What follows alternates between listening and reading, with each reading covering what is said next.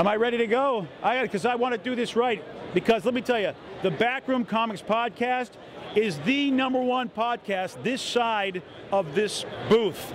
There's not a better one. So we're going to go right. You know, you should tune into it. And if you don't tune into it, you know what's going to happen to you. A puppy and a kitten, they get into like this sort of cockfighting ring, and they'll die. And if they don't die, PETA comes in, throws blood on them, which is really kind of ironic. Listen, you ought to really just, you know what? Tune into the, you tune into the backroom podcast. They're, they're, Pete. Oh, I gotta go. I, I, I should. Yeah.